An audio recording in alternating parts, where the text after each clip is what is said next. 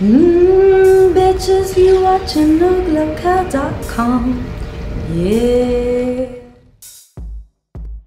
This is Kelly's kitchen. What we're having here is, uh, as you can see, this is called Kelly's chicken. What we like to do is take the chicken out of the freezer, put it in the frying pot, and then fry the chicken. Of course, the interior of the chicken is still frozen.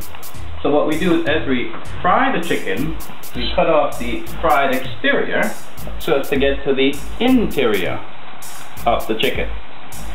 We rotate the chicken as we fry the chicken and continue removing the fried part from the chicken until we get to the more frozen part of the chicken.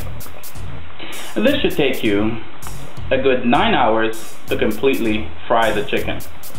I suggest frying chicken like this because it's an excellent way to make sure we have healthy fried chicken. I call it Kelly's Chicken. You're watching the Kelly's Cooking Show. Thanks for joining.